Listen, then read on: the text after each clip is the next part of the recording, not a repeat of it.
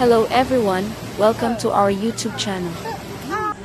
Tropical Cyclone Freddy entered Malawi on March 12, 2023 near the city of Nsanje in the southern region.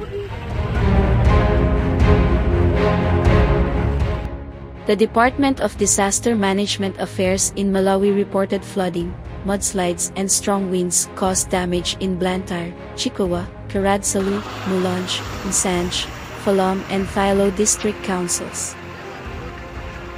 In total, 99 deaths have been recorded with 15 people reported missing. Currently, councils are conducting assessments to establish the full extent of damage and assist all those in need. In Blantyre City, the council has recorded 12 deaths, with 9 registered in Ndirande Township.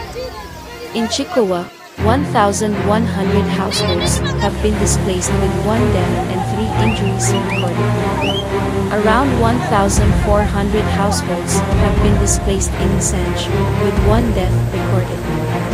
In Chiradzulu, 170 households have been affected, with 2 deaths and 2 injuries recorded. In Thyolo district, the council reports that 17 households have been displaced. People were injured in Phalombe. Thank you so much for watching and see you in our next video.